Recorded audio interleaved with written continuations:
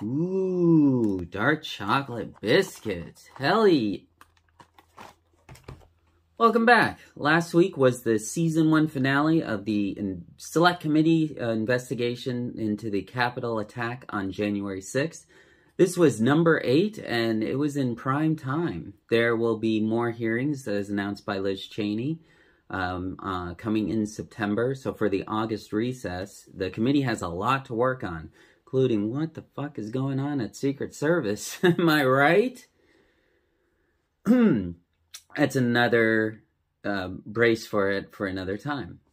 This hearing focused on the inaction, or uh, if you really think about it, the opposite action of what a president would do and what someone who would be attempting a coup would do, uh, which is looking, um, overseeing the ground forces, uh, keeping the troops motivated, um, sending uh, uh, orders, things like that. And it's very interesting that Trump did this all in a small dining room. He was never once in the Situation Room or in the Oval Office or in the small Oval because that would be where a president would be, not someone that's attempting an insurrection. So the committee looked at the 187 minutes. This was from when Trump got off the ellipse to uh, his speech to when he posted the video saying, We love you, uh, go home, you're patriots, uh, unceremoniously stolen election, all lies. And if you think he's giving up, it was actually uh, last week that Trump called the uh, Wisconsin Speaker of the House of the Republican legislature to try to decertify the election results of 2020 after he found out that they are not allowing drop off boxes this year's election, which were a big part of Wisconsin's election. So if I was in Wisconsin, I would be in jail right now because I uh, had my dad turn in my ballot at a drop box. Fun, right? Uh, these uh, this hearing was led by um, two service officers, uh, um, both uh, Adam Kinzinger and Elaine Luria. Elaine Luria is a 20-year Navy veteran, um, and Kinzinger, I believe, was um, Air Force or military or Marine. You know, one of the other branches of our of our uh, air of our what? Armed services? Yeah armed services. We're gonna say that. And it was uh it was meant to be prime time. It was both video and uh there was also uh, live testimony. Live testimony came from two big time uh trump supporters helped with his reelection campaign. We have on one side uh, sarah matthews who is the deputy to the press secretary uh, at the time, which was Kayleigh McEnany, and Matthew Pottinger, a longtime Trump loyalist who was the deputy to the national security um, in the White House, and that was the highest office that actually signed a resignation. Matthew Pottinger uh, resigned that night. He left the morning of in January 7th, and um, he signed, he put in his resignation as soon as he saw the Mike Pence tweet, or at 422, Trump tweeted, Mike Pence did not have the courage, which in this, um, this day and age, a president with that many followers sending out a tweet that his uh, um, people are listening to him at his beck and call is the equivalent of sending out military codes to your ground troops. They were troop orders. So if you say, hey, um, you know what? I really don't agree with the Justice Department, and you have a lot of pull and influence and people that are armed, uh, yeah, you can lead an army. No, really, when you think about it. Um, in the 187 minutes, uh, one thing that I thought was very interesting is there was no photos taken when the White House photographer came into the dining room, which is where um, Trump was located.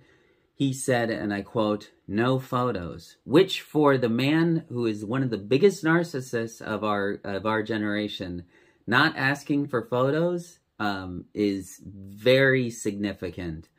There was a photo taken of him when he got back from the ellipse, and then there was a photo taken him when he leaves the dining room and he's heading to the residency.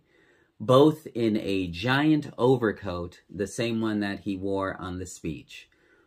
When he left the ellipse, now there's been uh, back and forth testimony uh, from Cassidy Hutchinson, who was a um, the aide uh, to uh, chief um, deputy chief of see I should really know these names by now. Um, but she was on Mark and Meadows' uh, side because uh, she was his uh, deputy chief of staff. Whoo, got it.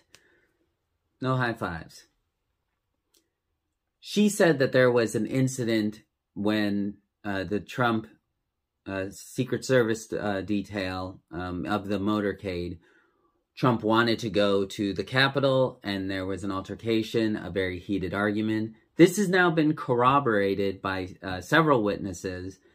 And when Trump, we found out when Trump got back, the Secret Service waited for 45 minutes to roughly an hour to see if Trump was going to the Capitol.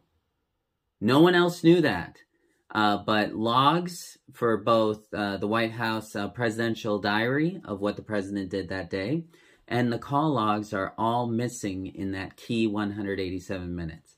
So this wasn't Trump not doing anything. This was him uh, uh, deliberately um, taking no action because what was happening well, I don't know why I did the rock on sign. Um, taking no action because what was happening was what he wanted. Uh, so chew on that for a bit. That's stale. And yeah, we saw um, video testimony. We saw that everyone in the White House was pleading for the president to say something, to get onto live TV, which he could have because it was a 60 second walk to get to the press secretary um, uh, press briefing room where there are cameras live 24 7 to assemble the press uh, corps. That takes about 20 minutes. So in 20 minutes there could have been a press conference and trump could have denounced the violence right then and there. But he didn't. Uh, because again this is this is what he had planned for. It didn't work with the fake electors. It didn't work with him trying to uh, hustle uh, state legislatures. It didn't work with him um, trying to hamstring the DOJ Justice Department. So the very last thing he had in his arsenal was his army, Trump's army, the MAGA patriots that have followed him for the last four and a half years that are now pretty much uh, following a cult. They these this is what you would see when someone's brainwashed, which is weird. Uh, what I'm looking at right now is the American fat flag because of the wind across has been all um, mangled, so it's very telling and uh, and scary because really what the hearing showed is what will he do again if he gets into office? Like there are some scary scenarios, and we're gonna go to Corey to find out one of the more um, telling ones. Corey, it's it, it, it it's so scary to think, but um, really, if you if you if you if you look at this, if you want a real nightmare scenario, now history shows that the people that have the party that has control of the office, it is a referendum that their uh, party is going to lose representatives. And this has happened for several years. There's only like two occurrences. One was during the Clinton administration, another during George W. Bush. But if the Republicans get the House of Representatives, get a majority of that, and get a majority of the Senate, they could potentially impeach Biden. Now, when you and it, it, don't say that I'm crazy because Marjorie Taylor Greene on I have introduced one, House Res put in articles of impeachment this, because these are articles she said of that impeachment he was illegitimate. President Biden. Uh, that's uh, a terrible Georgian accent. But I mean, like they, they could impeach Biden, throw out Harris, and then enough of these people that get into key legislative places start decertifying the election and say we now installed the rightful Right president who should have been there from the down beginning. to the Trump Capitol. could be in office in 2022. And we're gonna cheer on Our brave Senator. Wow, I'm gonna have a heart attack at a young age, aren't I? Uh, so yeah, there was um, uh, the the the more kind of like heart wrenching uh evidence that we saw was they had radio conversations um all a lo- that was going on of the vice president's detail Building, hold, How's that door up? If we're moving, we need to move now. copy. If we lose uh, any more time, we may have we may lose the ability to to leave. So if we're going to leave, we need to do it now. They've gained access to the second floor, and I've got public about five feet from me down here below. Okay, copy. They are on the second floor, moving in now. We may want to consider getting out and leaving now. Copy. Will we encounter the people once we make our way? Secret Service saying goodbye to their families, to their loved ones, uh, people screaming, um, mass chaos. And if Trump, think about this, if Trump went to the Capitol with his Secret Service detail, would it have been Secret Service Secret Service? President versus Vice President? Think about this. In Arizona right now, they are actually stumping for opposing candidates. So maybe that uh that loyal bond has been uh calcified, broken and rotted. But I guess that's what happens when your when your dear friend and uh, loyal leader sends an angry mob to hang you on the spot if they find you. It is scary to think that there are 120 election deniers that have been that have won the Republican primaries.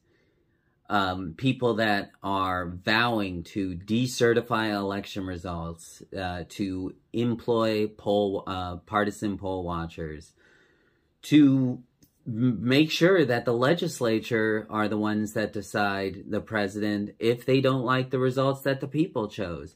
These are doomsday scenarios and they are all happening live right now.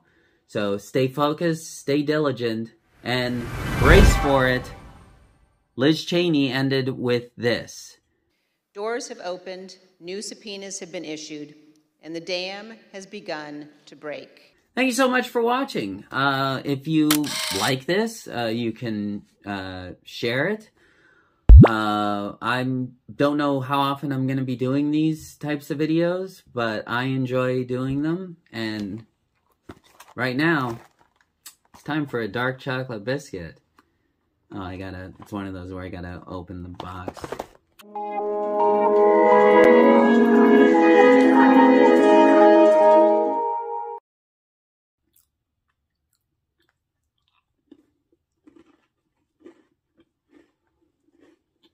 Really good. Really good.